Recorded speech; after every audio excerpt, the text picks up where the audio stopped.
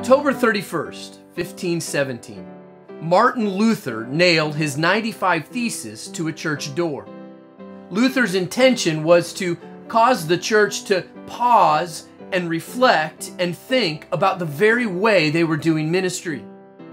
You see, the church back then had a complicated system of ministry, which included things like penance, things like indulgences, where people would uh, pay money to get their, their loved ones out of purgatory. It was a question that Luther was posing, challenging the church that if, if this is the ability of the church to let people out of purgatory, why don't we do that because of love and kindness to those souls?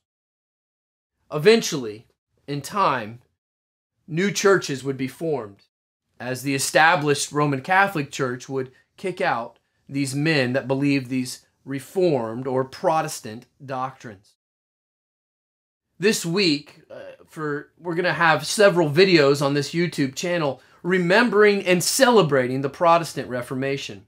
And in order to do that, we're going to use as an illustration my wife's van. You can see that it's a E350, 12 passenger, V8 engine.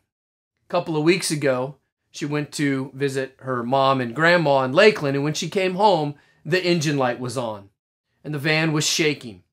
After some investigation, we discovered that one of the eight cylinders was not firing. And if not corrected, this would have been ruinous for the vehicle. After taking it apart not once but twice, I discovered the problem. The problem was a faulty spark plug coil.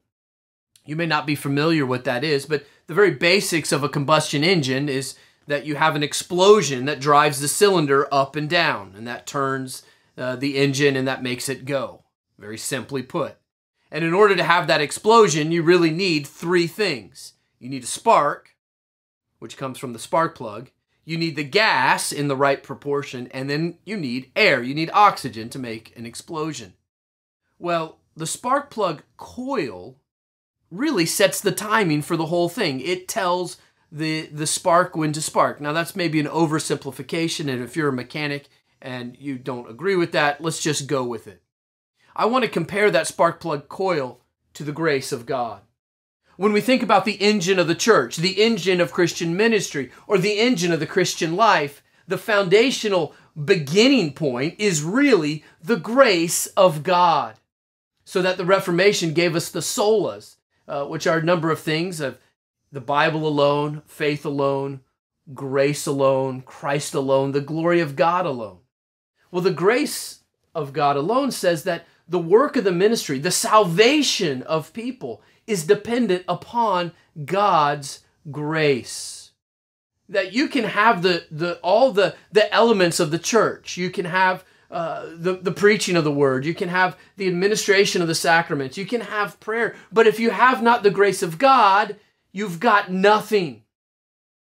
The Reformation restored not the human efforts, not the trappings of the church, but the grace of God as the thing which propels the church forward. In John chapter 1, verses 12 and 13, we read the following but as many as received him, to them gave he power to become the sons of God, even to them that believe on his name, which were born not of blood, nor of the will of flesh, nor of the will of man, but of God. You see, salvation and effectiveness in Christian ministry doesn't have to do with the family that you were born into doesn't have to do with your own efforts or even the efforts of other men. It has to do with the grace of God. All that we do as the church, all that we do as uh, individuals, it's all about the grace of God. And so we, we thank God for His grace.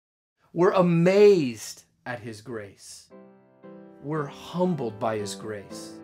And in everything, we need the grace of God. Tomorrow on this channel will be Coffee with Dr. Blizzard. We'll come back on Wednesday with our next Reformation thought, this time thinking about the Bible and comparing that to the gas that drives our cars forward.